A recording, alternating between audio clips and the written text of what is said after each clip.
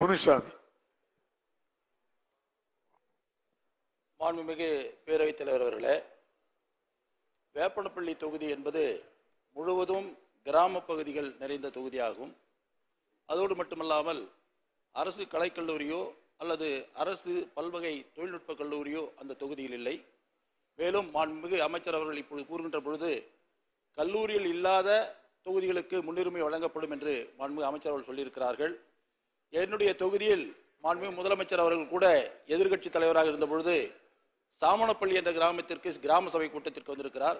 அதுபோல் முழுவதுமாக கிராம பகுதியாக இருக்கின்ற அந்த தொகுதிக்கு ஒரு கலைக்கல்லூரியும் பல்வகை தொழில்நுட்ப கல்லூரியும் இந்த நிதியாண்டிலே வழங்க அரசு முன்வருமா என்பதை மாண்புமிகு தலைவர் வாயிலாக மாண்புமிகு அமைச்சரை அறிய விரும்புகிறேன். மாண்புமிகு அமைச்சர் அவர்கள்.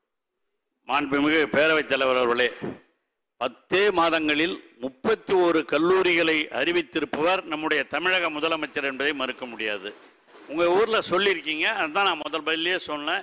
அங்கே அரசு கல்லூரிகள் இல்லாமல் இருக்குமானால் எந்த தொகுதியில் இல்லையோ அரசு கல்லூரிகள் இல்லாமல் இருக்கிற பகுதிகளில் இந்த கிர- அதான் அதெல்லாம் அவைகளெல்லாம் நிச்சயமாக பரிசீலித்து நீங்கள் எதிர்க்கட்சி உறுப்பினர் என்று கூட பார்ப்பதில்லை. தல தளபதி பொறுத்தவரையில் காங்கிரஸில் இருக்க ஒரு உறுப்பினர் கோரிக்கை வச்சார்னா அவருக்கு ஒன்று கொடுத்துருக்கிறாரு.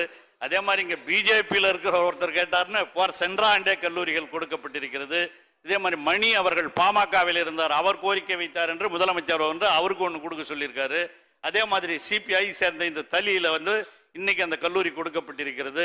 அங்கே முஸ்லீம் லீக் இந்த அவரை சேர்ந்த அந்த க- மனிதநேய. மக்கள் கட்சியை சேர்ந்த அந்த உறுப்பினர் கேட்டார்னு மணப்பாறையில் கொடுத்திருக்காரு.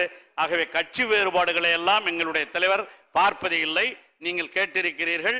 நிச்சயமாக மாண்புமிகு உறுப்பினர் முனுசாமி அவருடைய கோரிக்கையை நிச்சயமாக அடுத்த வருஷம் முதலமைச்சரிடம் எடுத்து சென்று அந்த பகுதியிலே அரசு கல்லூரிகள் இல்லாமல் இருக்குமானால் எய்டட் கல்லூரியும் இல்லாமல் இருக்குமானால் அங்கே உருவாக்குவதற்கு அமைப்பதற்கு கண்டிப்பாக முயற்சி செய்யப்படும் என்பதை மாண்புமிகு உறுப்பினர் அவர்களுக்கு தெரிவித்துள்ளேன் மாண்புமிகு உறுப்பினர் மணிகண்டன்.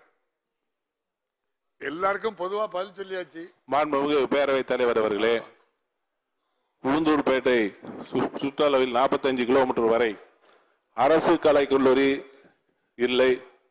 அங்க அரசு விவசாயிகள் நிறைந்த பகுதி மிகவும் பின்தங்கிய பகுதி. எந்த ஒரு இல்லை. வாங்க மணிகண்டன். கேள்வி என்ன? எந்த ஊர்ல என்ன வேணும்? உளுந்தூர்பேட்டைக்கு அரசு கலைக்கல்லூரி அமைத்து தருவதற்கு மாண்புமிகு தமிழக முதலமைச்சர் அவர்களையும் உயர்கல்வித்துறை மாண்புமிகு அர- அமைச்சர் அவர்களையும் அன்போடு கேட்டு மாண்புமிகு அமைச்சர் அவர்கள்.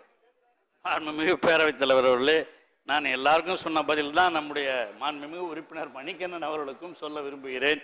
குறிப்பாக இந்த தேவைகள் பல இடங்களிலே எழுந்து கொண்டிருக்கின்றன. அங்கு ஒரு தனியார் கல்லூரி செயல்பட்டு செயல்பட்டு கொண்டிருக்கிறது. இருந்தாலும் கூட அவருடைய கோரிக்கை அங்கே உருவாக்கப்பட வேண்டும் அரசு கலைக்கல்லூரி உருவாக்கப்பட வேண்டும் என்று சொல்லியிருக்கிறார். அந்த மாவட்டத்தில் சென்ற ஆண்டு திருக்கோயிலூர் அது எந்த தொகுதியாக இருந்தாலும் அந்த திருக்கோயிலூருக்கு ஒரு அரசு கல்லூரி கல்லூரி வழங்கப்பட்டிருக்கிறது.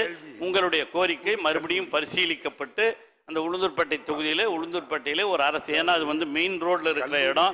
உண்மையிலேயே அங்கே தேவைப்படுகிறது என்பதையும் நான் நன்கு அறிவேன். அது எந்த சூழ்